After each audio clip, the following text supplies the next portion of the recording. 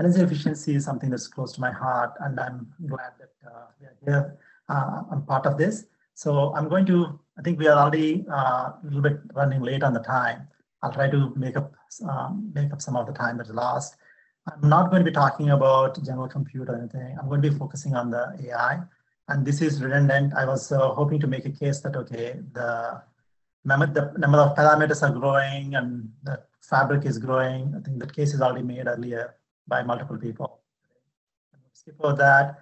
And then uh, I want to talk about, like, I think this is also made earlier, which is that the training cluster sales size, Rob actually shared very good data saying that, okay, it's at 2K nodes and it's going to 4K nodes. I'm, I'm looking at the ML Commons and uh, ML Commons uh, shows that a lot of benchmarks that are submitted today.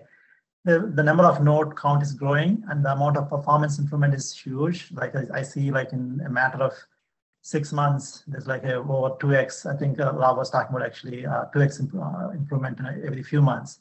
I see that. The number of nodes, 4K, is already submitted. A Few of them are there. Why is that important? because if the number of the cluster sizes continues to grow and the bandwidth continues to grow, your network plays increasing increasing role.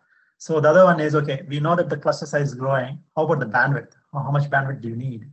The as as you, as you saw earlier, the parameter size are growing so much. The amount of data transfer is also a lot. And a, a part of it is like, let's say if you look at relatively the memory bandwidth that is there, HBM3 has 40, 4 terabits per second for a chiplet. And if you have, if you have like six or eight of them, you, you're talking about 32 terabits uh, on a one single node. So when I get opportunity to talk to the consumers, right, like like how much fabric bandwidth do you need? How much do you need it in the future? Typical answer I get is like whatever they have right now is not enough. So right now a lot of people are using 200 gig. That's not sufficient, and few people are actually moving to 800 gig. That's under construction, and even that is expected that in a few years that's not going to be enough if you're looking at a few generation down the line, it's going to be terabits per second per node, the amount of bandwidth that's coming out of each of the AI or GPU uh, accelerator node. So now we are talking about a combination of very large amount of bandwidth and very large number of nodes, and you can see what is happening, right? So, and then the other thing I want to show here is that your the amount of power, uh, the, the importance of the network grows beyond certain size. If you just have one node, okay, there's nothing, there's no interconnect, right? But if you have a few of them, like maybe like four or eight of them, you're just connecting them on the board. So it is, it becomes, it, it does consume power, but it's not as, if you look at 500 watts per node, and then you're, you're looking at your IO uh, bandwidth, IO power, it's still not significant. But once you start getting out of the box, now you have single stage fabric or multi-stage fabric even at uh, 4K nodes right now, you need a multi-stage fabric actually. And as you keep increasing the number of nodes, you need a very efficient training network, power efficient uh, training network. The network share is does not linearly grow as you increase the number of nodes. Actually, it's, it's, it's more than linear. So as you increase the bandwidth and as you increase the number of nodes, the share of the network power, I think Catherine also was sharing uh, that uh, okay, the uh, expected share of the network power is going to grow. But actually, I'm actually of the opinion that it is uh, probably very likely to be more than what was shown there. That as the as you grow to 64k nodes, uh, larger nodes, the amount of the bandwidth that you need, the power is going to be very high in the network.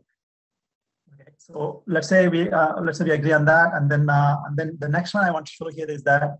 So when you uh, the fabric is important, but also you need to understand what kind of transfers are going on. So if you uh, if you look at all reduce versus all to all, the type of network traffic and the and the uh, way the data is exchanged is different. And it becomes important to the fabric because when you are building a multi-stage fabric like how much bandwidth do you need at each stage? So yeah sure like maybe within the within a ubb or within a uh, baseboard you have a full connectivity or mesh connectivity as you go up you're likely to go for a, a subscription and that depends on what kind of a load you're running what what is the demand for your network uh, what is the demand uh, from the ai nodes that are coming through I, I put some uh, range of numbers here. Uh, this is important from two perspectives. One is when you are uh, building a network for the AI, or when you're uh, architecting a system, saying that, okay, this is how I'm going to divide the job. And also when you are uh, programming, like saying that, okay, how much energy does it take when you want to move a piece of information from place to place?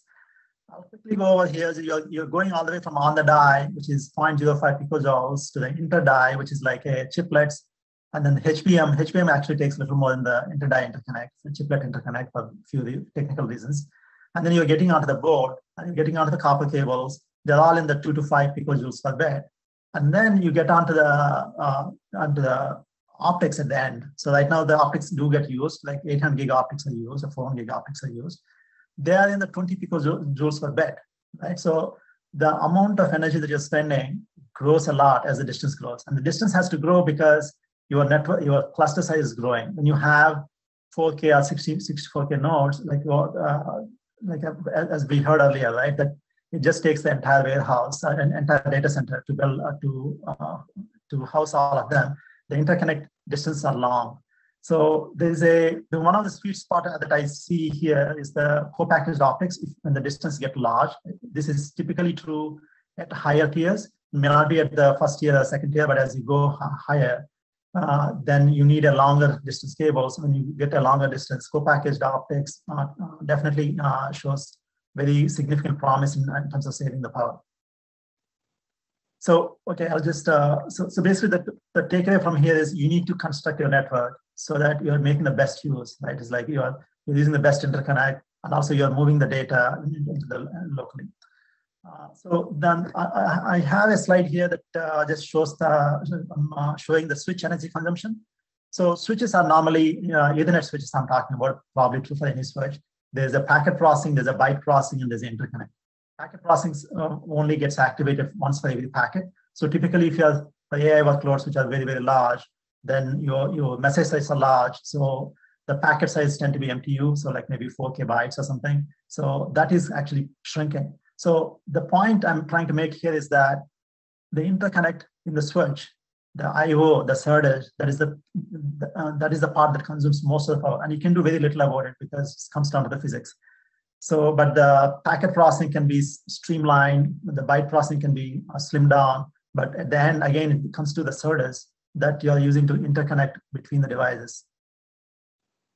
The other one I want to share, which is uh, we actually run a uh, lab I, uh, where we have a relatively decent sized cluster that actually uh, we work, uh, we work, we get the benchmarks and we run them.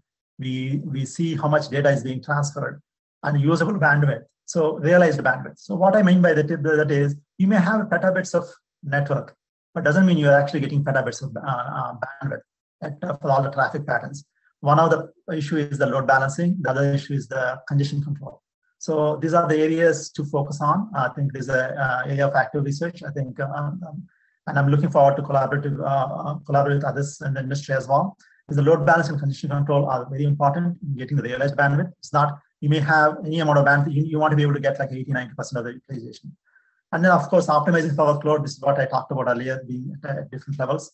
And the third one is energy proportionality. You definitely want to build energy proportionality in because of compute communication and there are many other factors that come in. In, in our lab, when we uh, when we run these loads, we see that actually, uh, even though the network average network utilization is high, there's definitely 20 to 30 percent uh, energy savings that you can achieve if you can build your network uh, components such that they're energy proportional. When I say when I say energy proportional, what I mean is if you have a, let's say, a terabit of bandwidth that's moving through a network that has a max capacity of terabit, if you're using only half of that at, for a short duration, let's say for a millisecond or a few microseconds, you should be able to, your network, your component should be able to respond to that and use less energy as well. And, and that may not help you with uh, your uh, the amount of cooling that you need to build in, but it definitely helps you on the energy bill and the, on the energy that's consumed. And here's another, another example is that you want to use higher radix as much as possible like so if you like when you're building the network, like you can't get away from uh, requiring large amount of bandwidth at each of the tiers. Uh, the more wires that you have, like here's an example. Let's say if you have a 12.8 terabits per second switch. Let's say if you want to, if you need a 25, you need to put six chips together. It consumes a lot of power, right? I think at OCP we had that uh, 25 tera switch, and you want to use something that's like higher radix. So my, my point is try to use a higher radix uh, of course, a pipe bandwidth is important. Let's say between 400 gig and 800 gig, going to 800 gig makes it easier to do load balance. But at the same time, uh, but at the same time, if you reduce the radix, uh, then you need more number of hops, which consumes more energy. So with that, I want to, I have a few takeaways I want you guys to have. One is, one is that I think first point doesn't need any repetition. It's uh, the, we need more uh, bandwidth. And the second one is also uh, well established that uh, energy share of the network is growing much faster.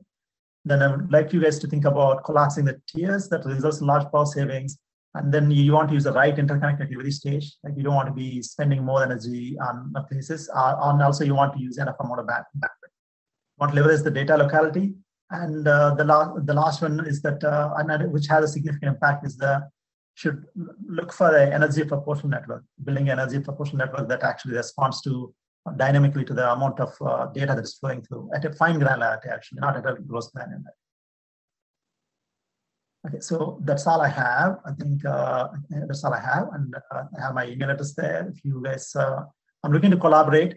I'm looking to look for ways where we could uh, like there is what I find what I find is there's expertise of AI and networking. And even in many companies, the network group and AI groups tend to be different. I think there's amount of sharing in terms of the bandwidths, in terms of the network traffic patterns and co-design would also, uh, I believe it would help. Okay. So I think, yeah, I think I, uh, that's all I have for today. Any questions I can, I can take if there are any. So there's no questions in the chat, but maybe a question that I think we have chatted about in the past, Surendra, that I know you uh, dig deeper into in terms of workloads and traces and how uh, that maps into some of the challenges that we are facing forward. Uh, perhaps that is something you could uh, talk about a little bit more. Oh, yes. Yes. So, like, let's say ML Commons, right? ML Commons uh, is one of the places I see a lot of benchmarks being posted. But th- those are the, they all require large number of GPUs, right? So somebody who's building a network, I'm uh, like I'm, I'm focused on the uh, building training fabrics, right?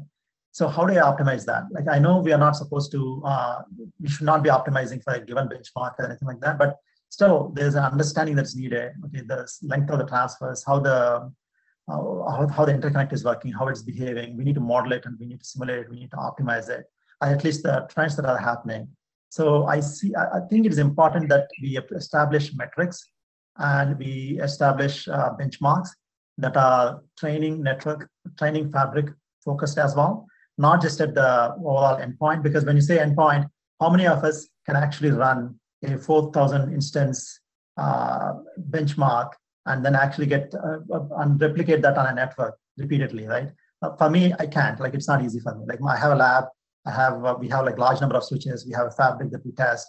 So translating that these high level benchmarks into a way where it can be used to uh, uh, to see to see the network behavior, to get the better load balancing and better congestion control and these things is important. So that, that's the area that I'm, I'm looking for uh, information and collaboration and, and, in a way to translate these, uh, these benchmarks into something that is uh, network centric. Really, yeah, that's a key area going forward.